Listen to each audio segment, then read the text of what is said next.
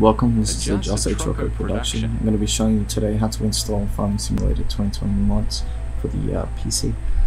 Um, so basically this is one of the best websites to go to to install them. Um, it works with most of them, so don't worry if you want a car or a tractor or something. I'm just going to be showing you how to install this shed. So basically you uh, click the download, download. Should be something formal. If it doesn't, uh, don't trust the website. So you got this. I've already downloaded it, so I'm not going to download it again. You want to find out where you downloaded it to, drag it to your desktop. And I normally put it next to my uh, shortcuts for my mods. This is where you want to install your mods. So I do. I already have it, but you would put it in here. So you want to go to this PC, Documents, My Games, Farm Simulator 2020 mods. You do not have a mods folder, just uh, create one. Make sure it's the exact same as this, otherwise it will not work. Once you put it in your mods folder, like all these files, make sure it stays as a zip. Do not unzip it if it work.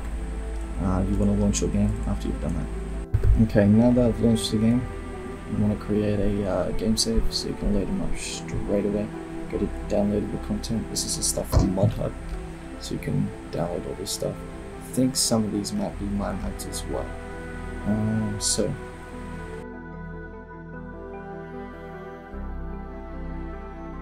So you want to scroll until you find it. I've already installed it, so it's up here.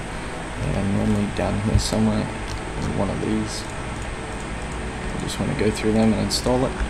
I'll show you how to install um, any mod that's in here. So you want to press the plus button. Shows you the information. You want to press install. It'll tell you if you want to install it. Press OK. And then it should install.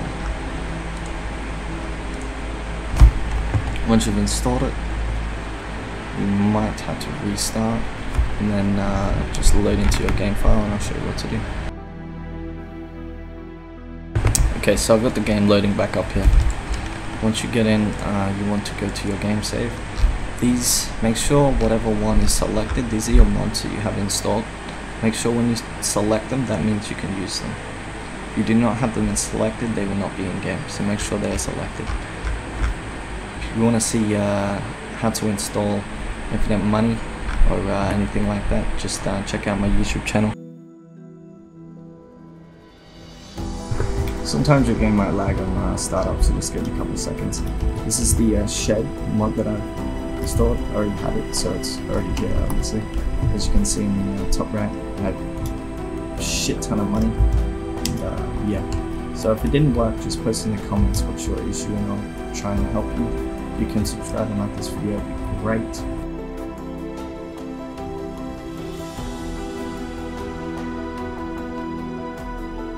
Okay, so once you've loaded up the game, uh, sometimes it lags when startup, so you just might want to leave for a couple seconds.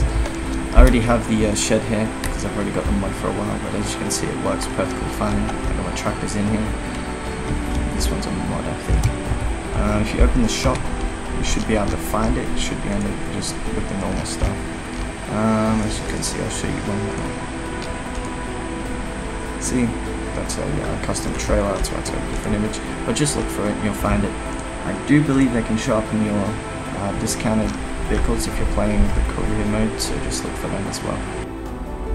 And uh, it should work with most of them if there's zip files, you can just install however many you want. If this video helped you, please like and subscribe.